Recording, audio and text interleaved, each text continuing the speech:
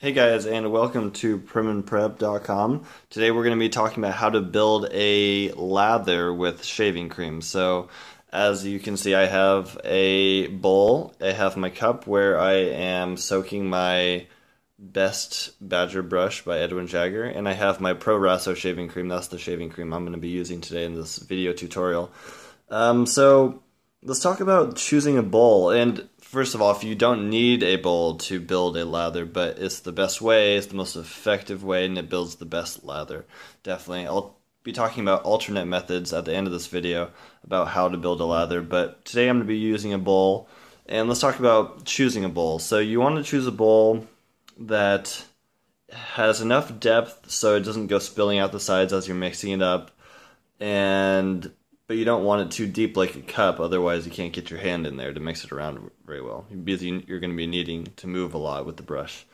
Um, so I chose a ceramic bowl because I think it holds heat really well. Metal bowls also hold heat really well, but sometimes they get too hot. And glass is probably my least favorite type of material for a bowl. So let's talk about prep for a little bit. So as I, first thing I do is I fill up this cup with hot water and I put the badger brush in there so it could start soaking up um, water into the badger hairs. And as I'm doing that, I'm letting hot water run into my ceramic bowl so it gets nice and hot and it maintains that heat throughout the whole time I'm whipping up the uh, whipping up the shaving cream.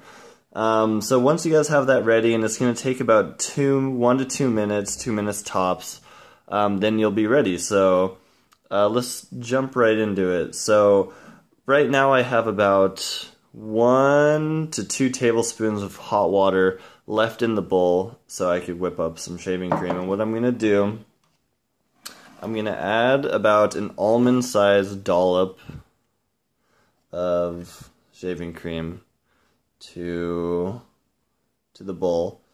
So that's about the right size you want.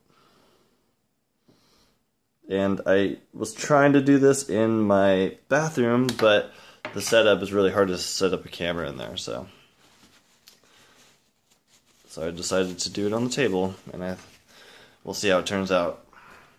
So after you've added your almond-sized dollop, I'm going to take out my badger brush, and I have a, just a pan right here, a pot, to get some of the water out, so I'm just going to shake it couple times into that pot. And I do have some water remaining in it, but um, not that much. I did about three or four good shakes. So the first thing I'm going to do is, I like going, it doesn't matter which way you go, but I like going clockwise to start. And remember, so start off with one tablespoon of water in your bowl because you can always add more, but if you start off with too much, it's going to take, it's going to be almost impossible to whip it up to the right consistency. I'm just going to take some off the sides and bring it back into the middle.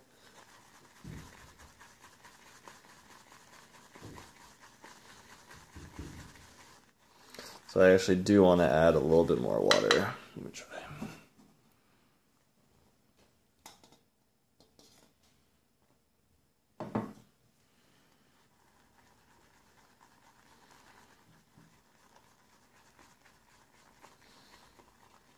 And then about halfway through, I'm just going to start going the other way. And I'm going to bring some back from the sides again. And anytime that you see a big air pocket, I like to just go straight down on it because it'll pop those air pockets and then just continue with the circular motion.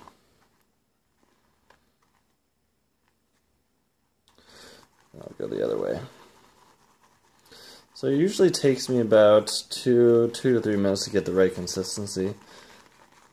Starting, I'm almost there, it seems like.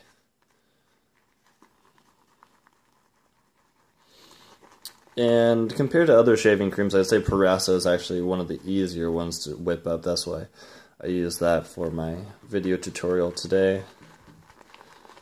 I think it's definitely easier to whip up a lather using shaving cream compared to soap although some soaps do a pretty good job as well.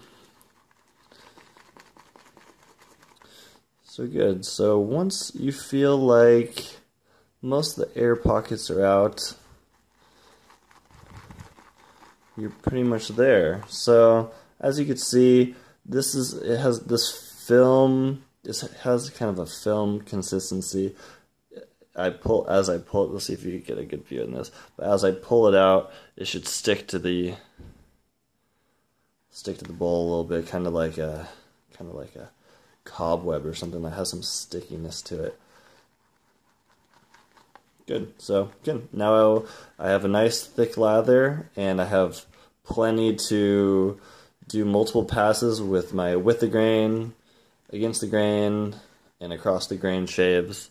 Um, you want to make sure you have enough for all those to get your baby butt smooth shave that you're looking for. Um, let's talk about some other methods. So that's shaving with uh, whipping up a lather in a bowl, which I think is the most effective method um, because everything is contained. Another way you could do it is if you're traveling and you don't want to, you know, pack a bowl with you, is just add a little bit of your shaving cream to your brush that has been soaked for one to two minutes in a cup, just like I showed you earlier.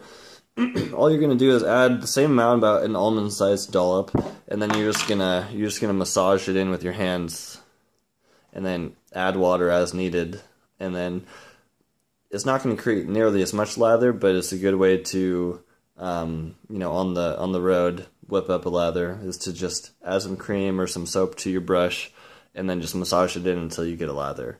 It's not going to be as good as I talked about. It's not going to be as sticky and as, as thick as this is right here. This is perfect, I think. Um, another method is to just make a bowl with your hand.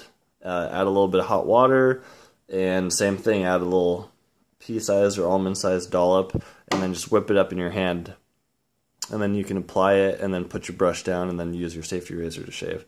But those are two alternate methods. This is my favorite. I like using a ceramic bowl. I like using ProRaw, it's super easy.